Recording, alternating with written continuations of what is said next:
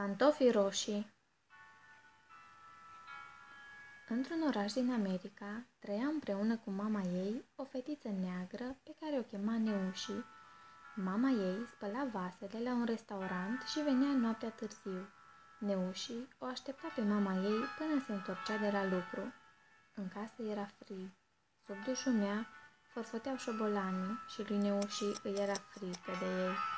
Într-o noapte, Șobolanii furară pantofiorul stâng al neușei. Fetița îl căută împreună cu mama ei multă vreme, dar nu-l găsiră nicăieri. Dimineața, neușii își încălță pantofiorul drept și începu să plângă. Cum am să umblu acum de sculță? Mama oftă din greu. Nu plânge, fetița mamei. Îl voi ruga pe stăpânul meu să-mi dea leafa pe o săptămână înainte și dacă îl voi îndupleca, îți voi cumpăra alți pantofiori. Meu și sări în sus de bucurie. Yay! Mămică, atunci cumpărăm pantofiori roșii, așa cum avea fetița aceea frumoasă pe care am văzut-o când am fost cu tine în parc. Nu știu, fetița mea, dacă îmi vor ajunge banii. Pantofiorii aceia sunt atât de scumpi. Dar Neuși o rugă atât de frumos să cumpere pantofiorii roșii, încât mama îi promise. Duminică, porniră împreună în oraș. S-au oprit în fața unei prăvălii.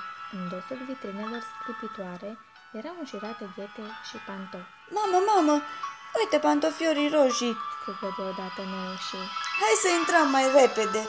În prăvălie, nimeni nu l seamă pe negresă și pe fetița ei.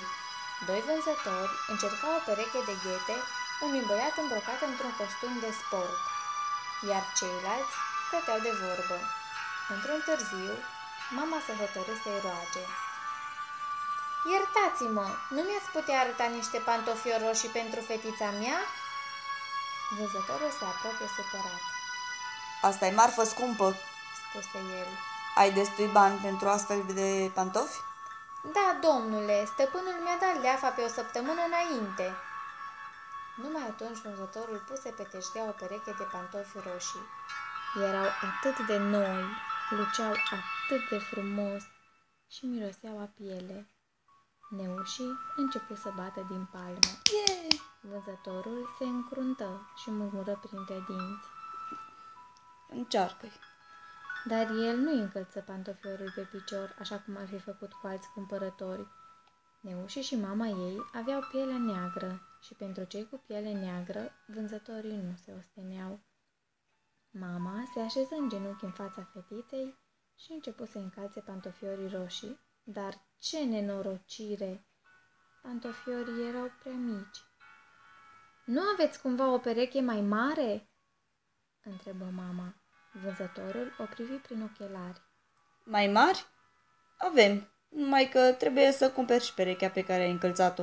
Să iau și perechea asta, dar pentru ce? dar pantofiorii ăștia sunt mici pentru fetița mea.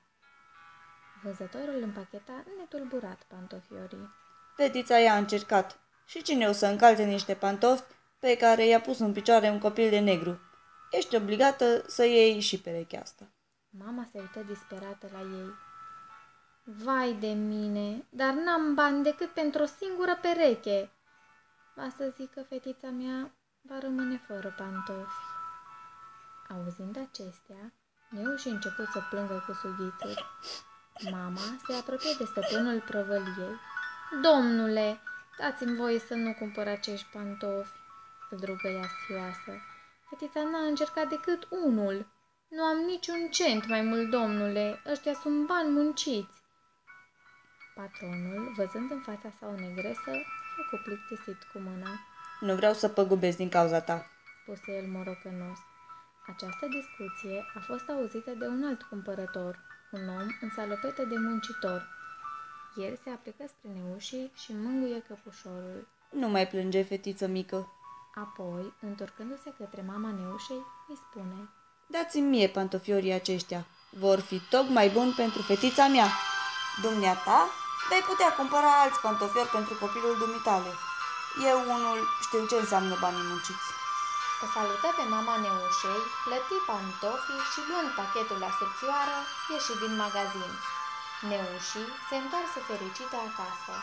La fiecare pas, pantofiorii cei noi scârțâiau și neușei îi se părea că pantofiorii vorbesc, iar mama ei nu-l putea uita pe omul îmbrăcat în salotetă de muncitor.